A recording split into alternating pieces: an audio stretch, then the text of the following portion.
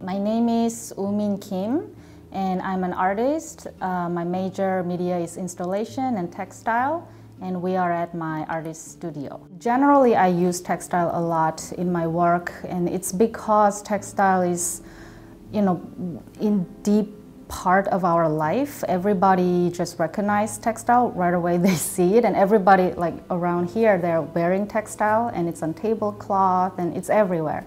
So I feel like it's important to have that media in my work to keep the democratic aspects of my work that everybody can approach and, and relate to. I'm making different quilts that describe uh, my memory of Korea, which is where I'm from, or landscape of Queens, where I'm living now. In the end, I want to put them next to each other. So by making this kind of ping pong conversation between my memory of Korea and landscape of Queens, I want to offer a narrative of different places or uh, immigrant that is more personal and accurate to me because the, the ones that already exist, I feel like it's often flattened and homogenized in a way.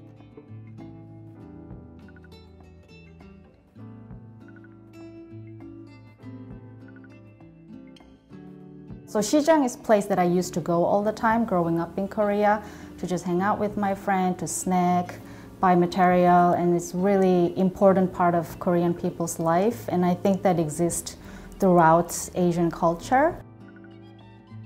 Generally speaking, Shijang means street market in Korea, and I describe different kinds of store um, that you can see in the Sijang.